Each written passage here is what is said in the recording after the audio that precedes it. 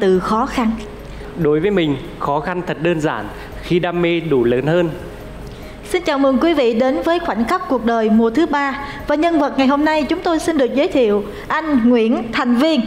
Chương trình khoảnh khắc cuộc đời do đài truyền hình Thành phố Hồ Chí Minh phối hợp cùng công ty truyền thông Khang thực hiện với sự tài trợ của chuỗi nhà hàng ẩm thực Trần.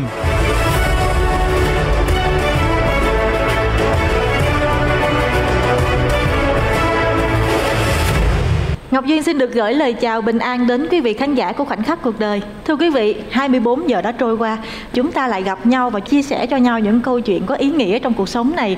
Và nhân vật ngày hôm nay xin được giới thiệu anh Nguyễn Thành Viên. Dạ, em chào chị Duyên. Thành Viên xin chào quý vị khán giả đang xem đài. Thông tin mà Duyên được biết ban đầu á là anh còn có một cái biệt danh đặc biệt nữa Dạ đúng rồi. À, người ta thường gọi anh là gì? Khán giả thường gọi em là ca sĩ chàng trai chân dê từ lúc mà bước vào nghề tới giờ luôn. Tại sao lại được khán giả đặt cho mình cái nick đó? Cái nickname này á là gắn bó với thành viên mà bây giờ thành viên cảm thấy rất chi là may mắn đối với cuộc đời của thành viên cũng giống như con đường sự nghiệp ca hát của thành viên tới ngày hôm nay. Một cái biệt danh rất chi là dễ thương mà khán giả đã đặt cho thành viên. Có thể ví dụ như một số khán giả gọi cái tên ca sĩ chăn dê thì có vẻ là khinh thường. Ừ. nhưng mà đối với em đấy là một bầu trời kỷ niệm và đấy là một bước đệm cho em bước sang một trang mới để cho em có được ngày hôm nay nhờ là từ cái biệt danh chàng trai chân dê. Vậy thì bây giờ bạn chia sẻ cho quý vị khán giả nghe hành trình bạn đi chinh phục cái giấc mơ âm nhạc đó như thế nào nói thật với chị duyên là từ lúc mà còn nhỏ là em đã ước mơ em làm ca sĩ rồi. Ừ. em chỉ thích làm ca sĩ thôi. Mà tại vì là quê em thì nghèo mà bố mẹ em thì ở nhà nông rồi cũng không có điều kiện hay không có ai làm bên nghệ thuật á. Ừ. cho nên điều ước mơ đấy của em rất chi là viển vông. Em giấu kín ở trong lòng. Tới năm mà lớp 12 em thi trường cao đẳng văn hóa nghệ thuật á thì em mới nói là mẹ con thi trường văn hóa nghệ thuật để con làm ca sĩ. Thì lúc đấy chỉ hai mẹ con là chưa có quyết định thi đâu. Thì mẹ em lúc nào cũng ủng hộ em cả. Nhưng mà sau đấy trường chỉ lấy có 5 người thôi. Thế là em bị trượt. Thế sau về nhà, chú mự em và bố mẹ em bảo là, con ơi, cái giấc mơ của con nó quá là viển vông gia đình mình thì thật sự là không có điều kiện và cũng không biết gì cả. À. cho nên là con đi theo học cái ngành mà con có cuộc sống ổn định hơn chứ đừng có đi theo cái đấy mình không có điều kiện đâu con ạ. Thế là em mới nghe bố mẹ em. Em thi đại học thì em đỗ trường ở trên Thái Nguyên á, ngành quản lý nhân lực thì em học ở trên đấy 4 năm lúc đấy thì em có biểu diễn cho trường rồi đi khắp tỉnh để văn nghệ trong trường đó. Ừ. thì cái niềm đam mê của em lúc nào nó cũng trỗi dậy trỗi dậy. Mà tới năm thứ ba rồi là em chỉ học là để đạt điểm khá để rủi ra trường thôi. Biết là em không có theo cái đam mê này nhưng mà em vẫn cố gắng để cho bố mẹ vui lòng. Kết quả mà ra trường thì em cũng rất chi là ok. Nhưng mà vì là mình mới ra trường mà kinh nghiệm thì mình không có khả năng tiếng anh thì mình cũng kém nữa. Ừ. cho nên là đi xin việc chưa có nơi nào nhận. Sau đấy thì phải làm tạm ở một nơi nhưng mà công việc của em em cố gắng em làm á cho nên là cũng phát triển rất chi là nhanh nhưng mà sau em bị nghỉ việc à. sau đấy thì em mới về quê coi như là vừa thư giãn mà vừa về thăm gia đình á thế là sau có chị gái em là chị Phương Khánh rồi hai chị em đi chăn dê ở trên rừng á à. thế là đưa cái laptop đi em mới rủ chị bảo chị ơi bây giờ có cái mạng facebook á chị em mình hát bài rồi đăng lên cho vui đi. Ừ. lúc đầu là chị em không có cho đăng đâu hát like một lần duy nhất.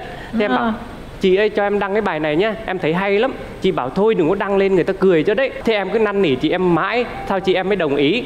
Thế là em đăng trong 4 giờ chiều ngày hôm nay thì qua sáng ngày mai thật sự là em rất chi là bất ngờ luôn qua một tối mà em được quá trời người theo dõi và mọi người biết tới quá trời Facebook của em là tràn ngập những bình luận chia ờ. sẻ like. Quá trời luôn. Qua một đêm mà em hơn 24.000 người theo dõi. Ừ. sau đấy thì em cảm thấy là cuộc đời em nó vui. Bây giờ tả mà em vẫn cảm thấy là vui á. Nhưng mà cho duyên hỏi là cái khoảnh khắc lúc mà sáng bạn thức dậy đúng không? Xong dạ. rồi bạn kiểm tra cái sản phẩm mình vừa mới đăng. Dạ. thì bạn thấy là mình được theo dõi nhiều như vậy. Thì lúc đó phản ứng đầu tiên của bạn là sao cảm xúc đầu tiên của em em cảm thấy là em không có thể tin vào cái sự thật là cái Facebook của em lại quá trời người theo dõi vậy. Và em xem là hơn 100 nghìn lượt xem rồi đối với em là rất chi là lớn. Lúc đấy chị em chưa có biết sau đấy thì bạn bè em gọi tới rồi nhắn tin quá trời luôn mà tin nhắn nhiều ơi là nhiều. Và ừ. người kết bạn với em rất chi là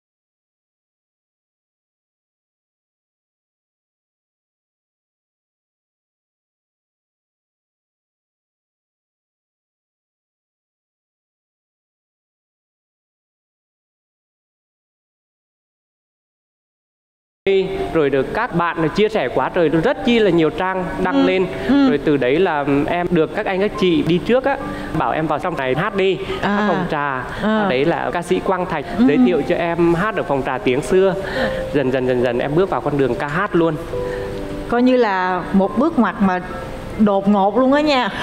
Ngủ một đêm vậy sao tự nhiên mình có một cái đường đi mà nó hoàn toàn lạ như vậy? Có nghĩa là đến năm thứ ba thứ tư rồi là cái niềm đam mê âm nhạc của em nó trỗi dậy kinh khủng lắm. Ừ. lúc nào tối em cũng ngủ mơ em được hát cho thần tượng của em nghe. Ừ. là anh quang lê này rồi chị phi nhung rồi anh mạnh quỳnh. Nhưng mà tỉnh dậy thì đấy chỉ là giấc mơ thôi. Thế sau này em mới gặp anh quang lê thật sự. Anh quang lê hỏi em có biết hát không? Thế là em hát luôn. Lúc đó bạn hát bài gì lúc đấy em hát bài đừng nói xa nhau. Rồi anh nói thì sao? Rồi anh bảo à, cái thằng này hát đường này thằng này hát đường này. Ừ. thế là có đi um, ăn cùng tụi anh không? Rồi em vui quá vui luôn. Em chia sẻ một khoảng thời gian mà em hâm mộ anh như thế nào. Rồi là có kể cho anh nghe những cái giấc mơ mình thấy ảnh không? Có luôn em kể cho anh ấy nghe hết luôn. Hai anh em nói chuyện rất chi là vui. Tổ hôm đấy thì anh Quang Lê và anh Quách Tuấn Du ừ. hát ở sân khấu trống đồng để em đi xem tại vì lúc đấy là ham ca nhạc lắm như kiểu vào trong này để thực hiện cái đam mê của mình. Ừ. mấy anh em đi ăn tới tận 2 giờ đêm mới về tỉnh dậy. Em lắc đầu em bảo Ô, cái này là mơ hay thật vậy trời? Em vẫn chưa có tin là em được gặp thần tượng của mình để hát cho thần tượng mình nghe. Rồi từ đấy anh Quang Lê cũng có nhắn tin qua lại rồi bảo em cố gắng lên rồi ừ. động viên em rất chi là nhiều nghe bạn kể thật ra nãy giờ duyên cũng hình dung ở trong đầu và duyên có một phần nào đó duyên cảm nhận được những cái cảm xúc của bạn ở thời điểm đó. Dạ. rất là vui. Sau khi bạn vào thành phố hồ chí minh này là lần thứ hai là sau cái clip ở trên mạng hay là lần đầu tiên là đã thôi thúc bạn có nghĩa là lúc đầu á là đã thôi thúc em vào trong này lập nghiệp rồi. Đúng rồi. Em đã vẽ ra một tương lai rồi nhưng mà vào trong này thì thật sự là nó không có giống như cái gì mình nghĩ. Em đi xin việc nhưng mà không có được. Mới vào mà em đã bắt xe em đi cùng luôn ừ. sau em mới chấp nhận là em làm môi trường mà có âm nhạc, đi làm ở đấy thì những cái lúc mà kiểu như hết khách á, em lấy cái micro em hát. Khán giả đi ra về rồi, nghe em hát thế quay lại bảo, trời ơi, em hát hay lắm, em phải đi làm ca sĩ nha. Hẳn mấy lần như vậy, em bảo lúc nào em cũng nuôi nấng ước mơ làm ca sĩ. Rồi trong lúc làm em cũng xin đi thi nữa thi solo bolero á chị. Bạn thi mùa nào? Em thi mùa năm 2015 lúc à. đấy thì em vào bán kết. À. nhưng mà lúc đấy thì khán giả của em theo dõi em rất chi là nhiều bảo uh, em cố gắng lên. Lúc đấy em thi trượt xong thì em cũng khóc quá trời khóc luôn. Nhưng có mà... nghĩ là giấc mơ mình từ đây thôi khép lại không? Ờ thôi khép lại luôn chị. Buồn quá trời buồn luôn em về mà em khóc rồi em quá trời buồn luôn. Nhưng mà sau đấy em nghĩ là em quẹt nước mắt xong em làm tiếp chị. Làm gì tiếp theo? Sẽ cố gắng em kiếm tiền em đầu tư ra sản phẩm ừ. rồi là để từ từ khán giả biết tới lúc đấy em còn khó khăn lắm. Một tháng chắc em làm được khoảng tầm 4 5 triệu gì đấy tiền thu âm thì đã khoảng tầm 500 nghìn rồi. Đúng rồi. Em phải suy nghĩ từng bài mình xem nên là hát bài nào thu bài nào để cho khán giả yêu mến mình nhiều. Ừ. cũng phải suy đi nghĩ lại chứ đâu có phải giống như bây giờ là mình muốn hát bài nào thì hát rồi mình muốn thu bài nào thì thu. Sau cứ từ từ từ từ vậy?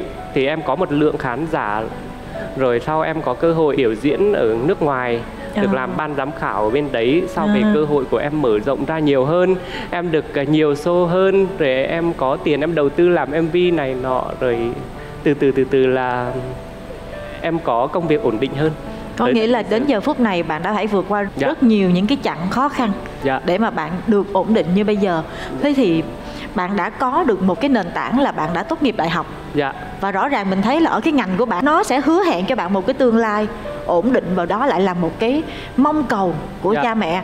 Vậy thì sao mà bạn lại quyết định bạn bỏ đi một cái tương lai ổn định và tốt đẹp như vậy để bạn chọn một cái con đường làm ca sĩ? Vì sao mà bạn lại quyết định mà bạn làm một cái cú liều như vậy? Động lực chị, từ đâu? Bây giờ chị nhắc lại thì nói chung bản thân em vẫn còn xúc động rất chi là nhiều.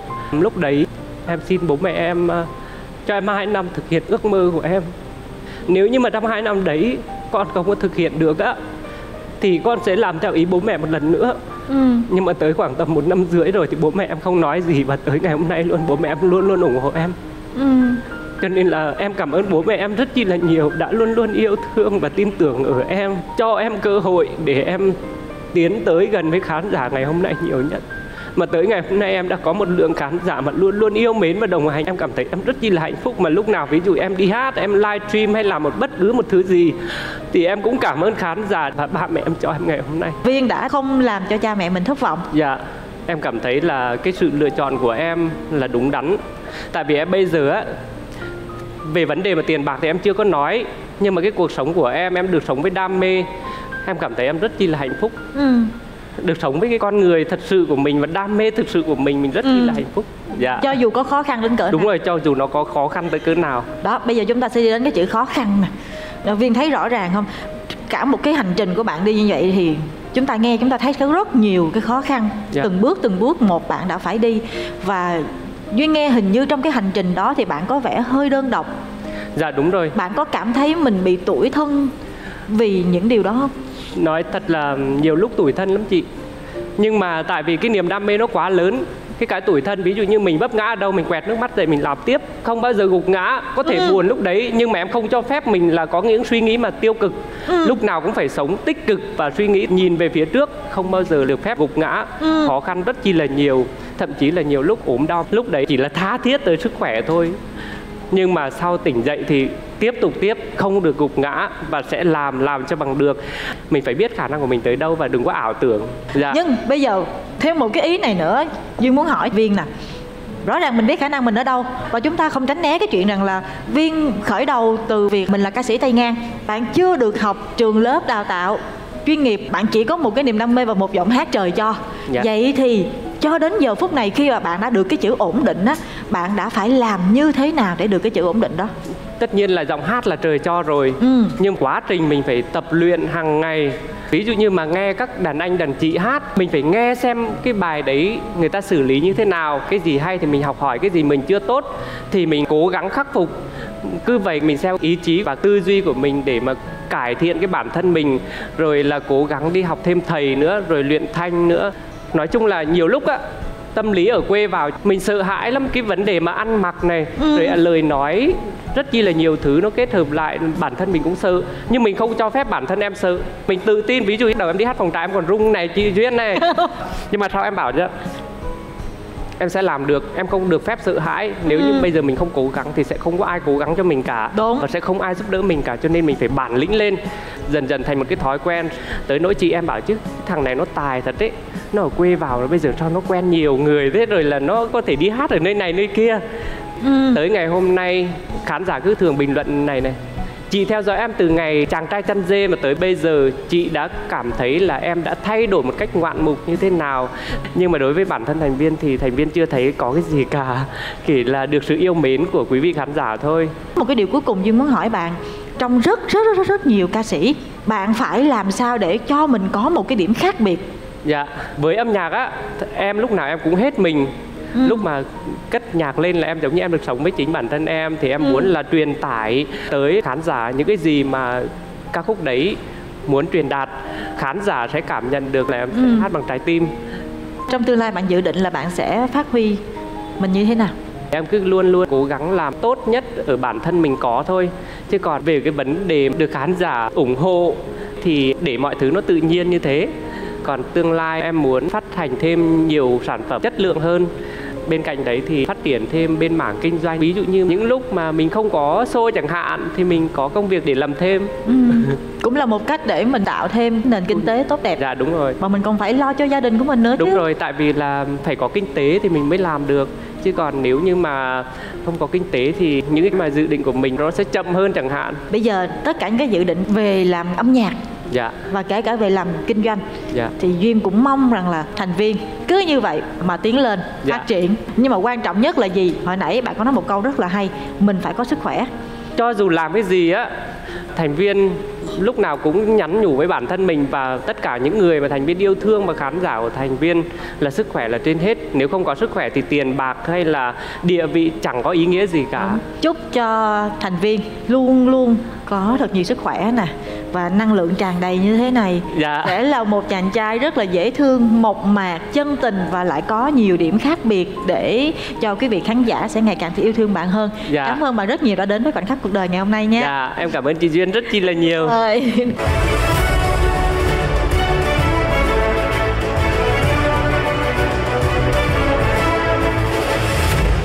Thành viên nè nếu bây giờ bạn có thể nói một điều gì đó với quý vị khán giả của khoảnh khắc cuộc đời thì bạn sẽ chia sẻ điều gì? Mời bạn. Cuộc sống có bao nhiêu đâu mà hững hờ. Mình cứ sống và làm việc và cống hiến thật nhiều thật nhiều bằng cái khả năng và bằng cái trái tim của mình. Lúc đấy hạnh phúc sẽ từ tìm tới bạn. Cảm ơn bạn rất nhiều thưa quý vị. Cuộc đời đó có bao lâu mà hững hờ? Đó là điều mà nhân vật thành viên ngày hôm nay muốn gửi đến quý vị. Đó cũng chính là thông điệp mà khoảnh khắc cuộc đời. Xin trao gửi đến quý vị, chúng ta có đam mê, sống hết lòng với đam mê đó thì sẽ đến thành công. Xin cảm ơn quý vị đã luôn luôn theo dõi và yêu thương khoảnh khắc cuộc đời. Hẹn gặp lại quý vị vào lúc 22 giờ 45 phút trên kênh HTV9 xin chào và hẹn gặp lại. Chương trình Khoảnh khắc cuộc đời với Đài truyền hình Thành phố Hồ Chí Minh phối hợp cùng công ty Truyền thông Khang thực hiện với sự tài trợ của chuỗi nhà hàng ẩm thực Trần.